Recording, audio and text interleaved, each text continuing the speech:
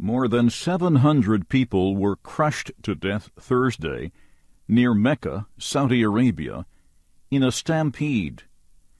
More than 800 others were injured.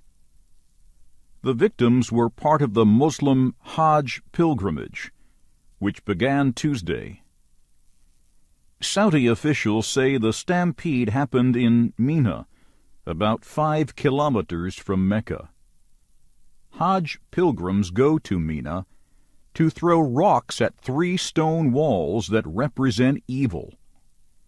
It is the final part of the Hajj ritual before the yearly Eid al-Adha religious observance. The pilgrims also spend the night at Mina. The area has more than 160,000 tents for the visitors. The Saudi Arabian Civil Defense Department reported the number of dead and injured on the social media website Twitter. There have been several deadly stampedes at the Hajj during the past 25 years. Huge numbers of people gather for the five day long event. This year, two million pilgrims are taking part all Muslims are required to go on the Hajj at least once, if they are able. Last year, Saudi Arabia reduced the number of pilgrims because of concerns about safety. The worst Hajj stampede happened 25 years ago inside a tunnel in Mina.